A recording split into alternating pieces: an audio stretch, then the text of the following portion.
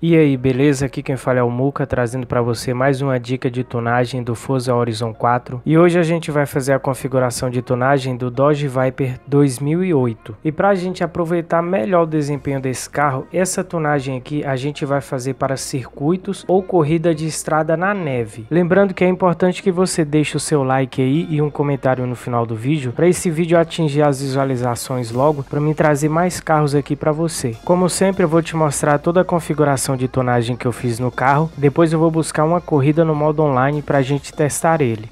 Ok, estamos aqui na parte de oficina de aprimoramentos. Eu já vou começando aqui pela conversão, troca de motor. Eu estou usando o motor dele original, troca de conjunto de transmissão. Eu estou usando a transmissão 4x4, aspiração, original, aerodinâmica e aparência, para-choque dianteiro. Eu deixei o para-choque dele dianteiro original porque ele já tem uma manobra muito alta, 9,6 é mais que ótimo nessa classe aqui. Aerofólio traseiro, ele já vem com aerofólio traseiro de corrida ajustável. Pneus e aros, composto de pneus eu estou usando o composto de pneus de rally nesse carro aqui porque a gente vai aproveitar ele em circuitos onde tem neve ou em pista de velocidade que tem bastante curvas, de preferência com neve. Largura do pneu dianteiro. Eu estou usando o máximo. Estilo de aro é original dele. Tamanho do aro dianteiro e tamanho do aro traseiro não tem nenhuma alteração. Largura da pista dianteira, eu coloquei o máximo. Largura da pista traseira, também o máximo. Conjunto de transmissão. Embreagem, embreagem de corrida. Transmissão, transmissão de corrida. Linha de transmissão, linha de transmissão de corrida. Diferencial, diferencial de corrida. Plataforma e controle. Freios. Eu estou usando o freio dele original porque já tem uma frenagem ótima, 9,5, já é acima dessa classe aqui. Molas e amortecedores. Molas e amortecedores dele original já é de corrida. Barra estabilizadora dianteira, de corrida. Barra estabilizadora traseira, de corrida. Reforço no chassi, estoque. Redução de peso, redução máxima. Motor, entrada, admissão original. Controle de admissão, de corrida. Sistema de combustível, de corrida. Ignição, de corrida. Escapamento, de corrida. Eixo de comando, eixo de comando originais válvulas de corrida, cilindrada, bloco de motor de corrida, pistões originais, refrigeração de óleo originais, volante do motor, volante do motor esportivo. Ok, terminamos a parte de oficina de aprimoramentos, agora a gente vai para as configurações de tonagem. Lembrando que é importante que você deixe um like e um comentário no final do vídeo, porque eu quero trazer mais vídeos como esse essa semana para você.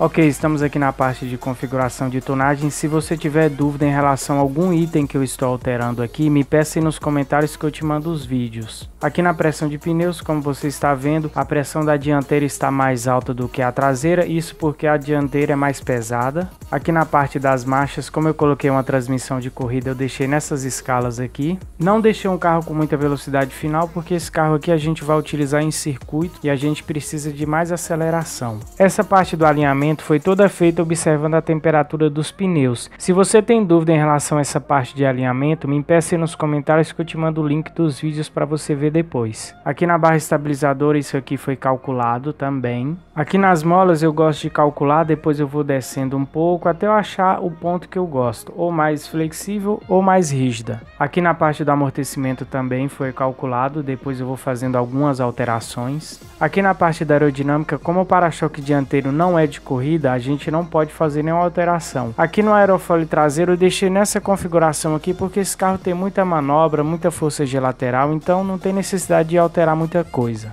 Aqui nos freios, como eu não tenho um freio de corrida nesse carro, não dá para me alterar nada. Aqui no diferencial, essa primeira configuração aqui é tudo padrão, só aqui no centro que eu alterei para 69.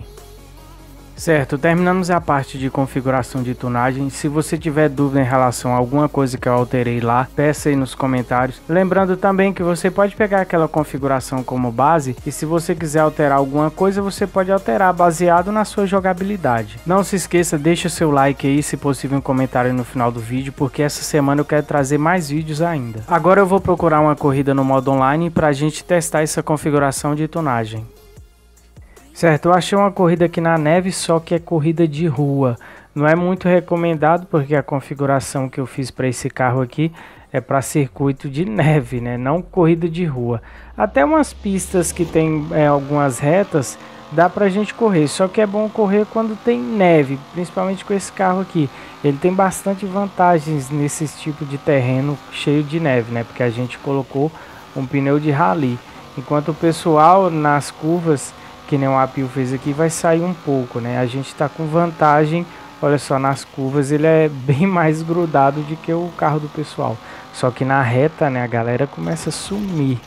Como eu não conheço muito assim os circuitos de, de rua, eu vou atacar bem forte aqui nas curvas, né? Que eu tô, eu sei que o carro anda bem, dá até pra gente sair um pouquinho para fora da pista, porque o pneu é de rally, então você vai ter uma certa, uma certa aderência, né? E como o carro tem, se eu não me engano, é 9,6 de manobra, então é, juntando isso tudo a gente tem bastante vantagem. Só que quando chega nessa parte aqui, ó, é por isso que eu não recomendo muito pegar esse carro aqui para circuitos que tem muitas retas e poucas curvas. A galera some. E como a gente eu fiz a configuração de tonagem desse carro aqui para circuito ou pistas com bastante curvas, a gente vai ter uma aceleração maior, principalmente como você viu aí na saída de curva. Então, fica esperto na hora de pegar o seu carro. Tem a galera que me pergunta como que você faz para saber as peças que você coloca no carro. É, cara, é, é muito assim, é, eu acho até um pouco simples, né? É só você fazer o seguinte, por exemplo, você tem um, um carro, por exemplo, na classe S1, que é um carro muito bom, um carro que você sabe que vai ganhar uma corrida. O que que você faz? Quanto de peso esse carro tem? Quanto de manobra ele tem? É só você fazer outro carro que consegue chegar próximo ou ultrapassar esse nível desse carro que você fez. Aí sim você vai ter uma, um, uma configuração de tunagem boa. Lembrando que você não pode exagerar ou na manobra ou na aceleração. Aqui no Horizon o importante é você deixar um carro que tem mais vantagem para o lado da aceleração do que para o lado da manobra, tá? Os carros aqui tem que ter muita aceleração. Certo, eu achei outra corridinha aqui na neve, tô largando em quarto.